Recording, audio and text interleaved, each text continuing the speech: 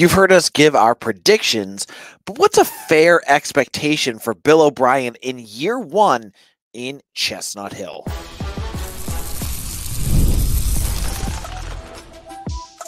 You are Locked On Boston College, your daily podcast on the Boston College Eagles, part of the Locked On Podcast Network. Your team every day. Hello and welcome. This is Locked On Boston College, your team every day. Today's episode is brought to you by FanDuel. Make every moment more. Right now, new customers get $150 in bonus bets with any winning $5 bet. That's 150 bucks with any winning $5 bet. Visit fanduel.com slash locked on to get started. This is AJ Black. I'm your host here. And today we're going to look at two big things. I want to look at what are fair expectations in year one for Bill O'Brien. What should we expect in terms of records? What should we expect for his offense, his defense, and everything else in between? I'll give you some fair data points that we should be looking for in year one in his term in Chestnut Hill. And then finally, there was news on Tuesday about a private equity group that's looking to get into college football to help with this new uh, revenue sharing and helping to put money infused into schools I'll explain why this is a horrible idea and that Boston College needs to get the heck away from that. So, Bill O'Brien, a year one coach, what are fair expectations? Now, for a lot of head coaches, you look at a guy like um, Bob Chesney at Indiana or even Fran Brown at Syracuse. These are first year head coaches at the F at the Power Five level. You know, Chesney, he coached at Holy Cross. That's a big difference going from there to James Madison. Even from for for Cignetti, um, going from James Madison to Indiana, these these coaches get a little bit more leeway. BC shouldn't need that. You're bringing in a head coach from you know a wide range of experience whether it's as a coordinator with the Patriots or Alabama or as a head coach with the Texans and Penn State. Bill O'Brien doesn't need I feel like he doesn't need a a um, couple years to get things under his belt. He's coming into a program where there wasn't a lot of attrition due to the transfer portal. If you would ask me, who was like the big name that they lost? The biggest name probably is Joseph Griffin. And they already had figured out his replacement by the time the transfer portal came out with Jerand Bradley. So it's not even a big loss there. He has a roster that is in place and intact after a seven and six season. Now he's a better coach than Jeff Hafley. He is in every metric that you can think of. Bill O'Brien's going to be a better coach than Jeff Hafley. So he should be ready, even with what's coming ahead, to build here at Boston College. Now, the biggest question mark is not who he has on his roster. It's not Thomas Castellanos. It's not the defense. It's the schedule in front of him. I think it was Brad Bates that created the schedule that they have this year. It Could have been Martin Jarmond. But you look at who BC has to play, and they have a brutal schedule this year that includes Florida State, Michigan State, Missouri, uh, UNC, Louisville. They've got a tough, tough, tough schedule. So when you're looking at this roster, you're looking at this schedule, and you see what Bill O'Brien has done in the past. He was big, uh, Big Ten Coach of the Year that first year he took over after the, the Jerry Sandusky scandal got Joe Paterno fired. I look at this roster and I say to myself, just we're going to start with just overall wise. This should still be a bowl team. There's that is an expectation for this year. Anything short of a bowl that's 6 and 6 would be a disappointment for Boston College. I think this team is capable of winning some games that maybe folks aren't expecting. Like we mentioned SMU. Yeah, they beat them last year, and I know they were missing their starting quarterback, but there's no reason that BC couldn't beat them again. You you get UNC at the end of the year when Mack Brown has wilted like a flower. You get Florida State early in the year. You almost beat them last year And I I will argue to the death that DJU is not the, as good of a quarterback as Jordan Travis. Now you get to play him on the road, I get that, but that could be an issue, right? I think six and six should be the expectation for this team. Anything less than that is a disappointment. I don't care what the schedule. I don't care that it's still Bill O'Brien. They have too much talent, and I don't think the folks are giving them enough talent, uh, enough attention to the talent that they have. And we'll get into that in the second segment. That they're on both sides of the ball this team should be able to battle much more than they did under Jeff Hafley. And when you have a coach and a coaching staff that is more adept and more ready to win those types of games, you're going to be in a better chance to get over that six and six hump. I have faith, and I hope you guys all do too, that Bill O'Brien is the right guy. Watching him at practice, watching how his attention to detail, the the scenarios that he puts his team through, the way that he is already getting his team prepared for anything, shows me that he's bringing like almost a Bill Belichickian mind to this season. And when you're going against Fran Brown, who has never been a head coach, when you're going against Western Kentucky, when you're going against Mack Brown, who is, you know, putting on the back nine at this point, I will take Bill O'Brien nine times out of ten. I think he's gonna he has he has the ability to raise this team up, even with a tough schedule, to get them above where many folks are expecting them to be. He's brought a staff of established coaches, whether it's Tim Lewis. And yeah, I know Tim Lewis hasn't done a whole lot recently, but this isn't like bringing in like a green guy. Like no offense to Sean Duggan, but Sean Duggan took over as a defensive coordinator with Aazaar Rahim. Neither of them really had much of any experience. I'll take guys that know what they're doing nine times out of ten. And I think that's a good thing. In a moment, I want to look at other factors that could go into what expectations we should have on offense and what off expectations we should have for you as fans and us that cover the team on the defense. We'll get into all of that in just a moment. Wouldn't it be great if you could see all your investment and retirement accounts all in one place? With Yahoo Finance, you can consolidate your views from multiple accounts into one hub and access the expert analysis you need to land your entire portfolio with confidence. Now, I have my my Schwab and a 401k with Fidelity. I use Yahoo Finance. It puts it all in one space. I'm terrible with passwords. I I I got so many different passwords. I have a hard time remembering where the heck I put them. With Yahoo Finance, everything's all in one space. I just got to remember what I have there. It's all easy to find because Yahoo Finance has everything I need all in one spot. They've been the brand and the leader in investment knowledge for over 25 years. They have a holistic look at the financial news cycle, including breaking news, original editorial perspectives, analysis ratings, independent research, customizable charts, and so much more. Now, if you want to get in on Yahoo Finance, and you definitely do, you need to go to yahoofinance.com. Again, you're going to get everything from financial news to analysis at fi- yahoofinance.com. One last time, get to that number one financial destination, yahoofinance.com com. This is Locked On Boston College. AJ Black. Later on next week, we're going to have Mitch Wolf on, and he's going to dive into that offensive line. He's going to look, he's been, I, I sent Mitch, Mitch on a errand to go through offensive line tape, and he's been doing it. He's going to talk about Jude Bowry and how excited he is about him, his reservations and concerns about Jack Conley, and everything else in between. We're going to have it up on Eagle Insider, and we're going to have him on the podcast to talk about it. So make sure you have all of those bookmarks so you don't miss that episode. It's going to be a good one. Now, we're talking about what factors could go into a successful season for BC. And in the first segment, I said right off the bat, they need to be a bowl eligible team. They cannot take a step back from that.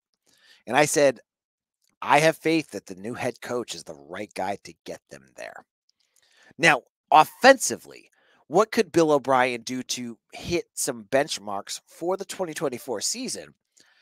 I look at Thomas Castellanos as a number exhibit A through F as reasons what what he needs to fix.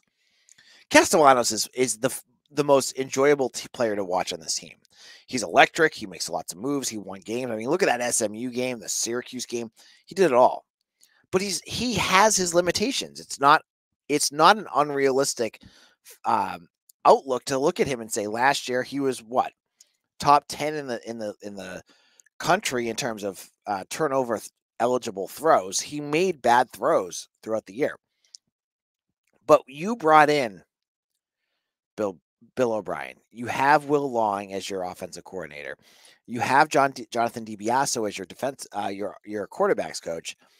You got to hope those three can look with Thomas Castellanos and teach him because this is college. That's what you do. Teach him improvement in terms of reading defenses and coverages because there were times last year he didn't look like he didn't know what he was doing. He came in in the su- summer. It's completely fair that he wouldn't at times. How to make his throws, how to make his progressions, all of that stuff. But you need to see his his interceptions go down. Thomas Castellanos will become one of the better quarterbacks in the ACC if his turnovers decrease. And the way that I expect O'Brien has him throwing the ball, he's going to have the ball in his hand more often than not to throw it. And that's going to be the biggest factor. If he goes out there and O'Brien's asking him to throw the ball more and he's throwing tons of interceptions, this could be a long year for Boston College. But if O'Brien can show him how to use his legs in combination with the, the the wide receivers and tight ends that he has, and I think he's got a good group to grow with.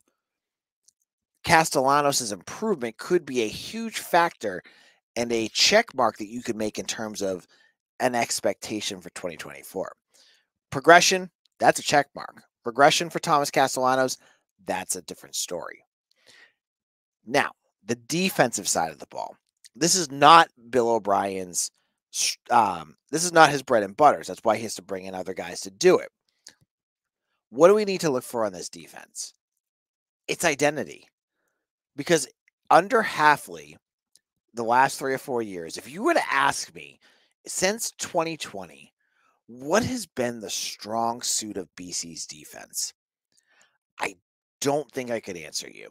They they have not been strong in turnovers. They have not been strong in sacks. They haven't been strong against the pass. They haven't been strong against the run. They have just been inconsistent everywhere in terms of those factors. So, can Tim Lewis, the new defensive coordinator, along with Bill O'Brien, find out what this team can do and do it well? Whether that's playing with a fire under their butt to, to cause turnovers, and yeah, maybe they get burned every now and then, but they're causing turnovers, they're getting balls. Um, in enemy territory more often because when you do that with Thomas Castellanos, it's going to get you points. It's going to get you points. It's it's a, it's a fact of life right here. Or are they going to be, you know, more active in the pass rush? Are they going to be stout against the run? The defense needs to figure out what they can do well. Because for so many years, we have not seen them do anything specifically really well. That will be a factor of success and you've got the guys there that can do it. You've got Donovan Ezeiruaku, who seems like he's a ticking time bomb in terms of success. Under Hafley last year, he didn't. He was, eh, you know, he had good years. I mean, you look at his Pro Football Focus grade; it was great. But you know, if you're if I to ask you like game changing plays other than the SMU game, he probably had one other game where he had a lot of plays. And that was the UVA game, right? Other than that, he was kind of he was kind of quiet. We need a guy that reminds you of the of the um, BJ Rajis or the Mark Herzlichs or Harold Landry or Zach Allen, someone who's a game changer. If they can, if that's Ezeiruaku and they can, if they can activate that and make him that player this year, that is going to be an expectation of uh, and a measure of success for next year. Finally, an expectation for 2024 is an improved recruiting class. I've been I've been hammering this on our site. on here that that O'Brien is bringing a buzz to this program that is going to need that's going to elicit hopefully a better response out of recruits. Last year, Jeff Hafley brought in a class of what, like 13 players, and some of them were just really last minute, as he lost a ton of them on decommitments at the very end. And they ended up in the 90s in terms of the recruiting class. As a, pro, a Power Five program or Power Four program at this point, you can't have that. O'Brien has a couple of really strong recruiters right now, I think. The two top ones, in my opinion, watching what they're doing in terms of getting top notch talent, is Darrell Wyatt at wide receiver. Not no surprise, did that last year, and Ray Brown at cornerback. They're bringing in some really talented players that could help elevate the recruiting class. But don't sleep on guys like Jonathan DiBiaso, Matt Applebaum, and Savon Huggins. Uh, they also and, and Jeff Chem, Jeff, Jeff Commission is also a, a guy that's going to bring in some names. So you combine the guys that you know versus the guys that have a ton of potential, and you hope that your recruiting class, which should be a lot bigger, it should be going closer to that 25 mark this year, will get BC higher in the in terms of their um, recruiting class. Now, would I say it's top 25? No, they're not going to be a top 25 class, but could they be top 40? Sure. With this, the amount of recruits they get, some of the quality recruits, if they can land them, this could be a top 40 class. And I don't think that is a I, I, 40, I think, is a little aggressive at this point. He's got some work to do in terms of rebuilding some pathways in the recruiting class classes that he's bringing in. But say top 45. Top 45 recruited class for, for Bill O'Brien this year should be an expectation. I think that could happen. Now, in our final segment, some weird news came out on Tuesday morning, Wednesday morning, about private equity firms trying to get in on college football. I'll explain why this is all terrible idea. We'll get into all of that in just a moment. It's winner take all time in the NBA and NHL, and FanDuel's giving you a shot to bring home a big win of your own. Were you watching that Celtics game? Did you take the Celtics? I hope you didn't. Uh, but it took a Jaylen Brown miracle three to cover that spread. And it looks like it's going to be a tough season, so series. But with a second game coming in in Boston, are you feeling that the, the Celtics can keep this one going? You can take the money line, you could take the spread, which probably be like what, like five and a half points. I haven't seen the new one yet. But right now, if you were to get that, new customers are going to get $150 in bonus bets with any winning $5 bet. That's 150 bucks to bet on spreads, money lines, player props, and more. All you got to do is visit fanduel.com and make every playoff shot count. With FanDuel, America's number one sports book.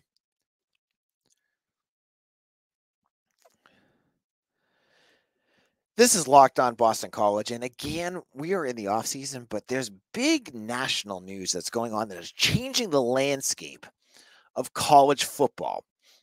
And the bigger news on Wednesday, after the news of uh, paying and revenue sharing with college athletes, was this news article that came out by, I think it was Ross Dellenger again, that Drew Weatherford, a former Florida State uh, quarterback, and I believe he's a Florida State trustee at this point, is part of an equity group that's trying to reach out. And he's apparently reached out to 50 different schools to try to infuse private equity money into the schools to help them with this new uh, revenue sharing scheme.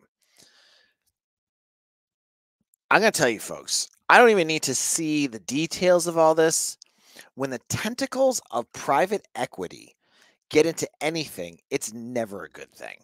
Whether it's what you saw with Sports Illustrated, whether it's what, what you're seeing with some of these other companies that are all struggling, like SB Nation or I, you know, even some of the bigger companies. I think some, you know, like um, there's there's bigger companies out there that have had private equity parts of them. They a lot of times it feels like they put money in and then they just take everything out. All the stuff that you loved and, and, and enjoyed are going to get sucked out of it, right? So I look at this and they want to put, you know, I think it was like $20 million into some some schools. My hope is that Boston College sees this and runs the other way. Getting private equity involved in college sports is not a good thing in any measure. Any way you cut it, it's not good. Because, yeah, right now you get Drew Weatherford out there saying that everything's going to be copacetic. It's just a way to give money to the schools. But you know, further down, there's going to be a bill to pay. The school is going to have to pay those people back, and it's not going to be pretty. They're going to want things, you know, either expedited or they're going to have demands of the program, whether it's a firing a coach or putting extra NIL money into something, whatever it is. You're adding in an outside agency that's going to infuse money, but also use that almost like a mob boss to infuse their will on whatever school takes their dirty money. It's not dirty money, but takes their money. You know what I mean? So, my hope through all of this, Boston College has an enormous endowment. It puts them in a much different spot than a school like Florida State, who is hemorrhaging money and can't figure out how to keep things going at times. My hope is that even with revenue sharing, Boston College will figure out a way to get money into this program to support the the, the teams and whatnot that they want to support and not have this become something that private equity jumps in and helps to bail them out. Because i you know it it it, it does remind me of like a bo- mob boss right? Like yeah a mob boss is going to give you a favor but if you've ever watched any movie whether it's the godfather or goodfellas or whatever sopranos when they give you that money and they're saying it's whatever, they're always going to ask for a favor in return. And that favor is going to put you in a spot that you don't want to be in. This is not a good spot for college sports. Private equity is not a good thing. And hopefully, most of these ADs saw this and said, nope, but my big that, and just from the as a college football fan in general, is there's going to be enough schools that are going to see this and go, "Oh, we need the money," and they're going to do it, and that's not good. So I'm not sure where this is going to go. Maybe this is a one-time thing, but as the as college sports continues their march towards you know employ uh, you know having full-time employees revenue sharing all that stuff this whole system is going to change and the way that they look at money is going to change. And so I could see schools taking this up and thinking this is a good thing. I just think in like 10 years, they're going to realize what they made was a deal with the devil. All right. This is AJ Black. Thank you all so much for listening today. I'll be back again tomorrow with any Boston College news. It's our last episode before Memorial Day and we are only a week away from the start of official visit season.